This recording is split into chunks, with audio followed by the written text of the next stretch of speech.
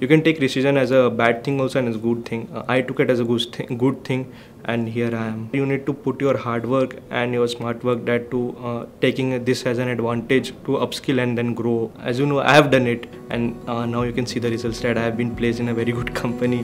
Hi, I am Aman Kumar, and I am a data analyst at Rocket Learning. I am a proud Newton School student.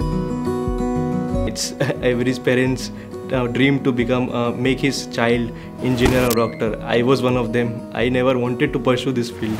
But then i was to, into this field somehow. But then i thought that okay sometimes your parents decision could end up getting good results. So uh, yeah it was my father because of this. I am today here. I explored uh, other platforms also, but they were um, more specific about the data analyst part or data science course but then uh, newton school was the one who was starting from aptitude so that a person who does not know more about aptitude can learn aptitude uh, can grow its skills uh, more and can pursue their things in a better way. The curriculum was the best part other than that was the one-to-one mentorship that uh, newton school was giving I got very disheartened when I was not able to solve the coding questions. So it was my mentor who uh, motivated me. Okay, man, you can do it. You can do it.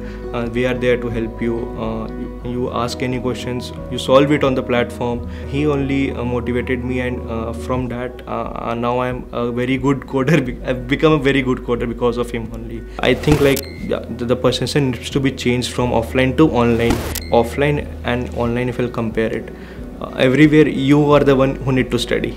No one else will come in behalf of you to study and get you placed.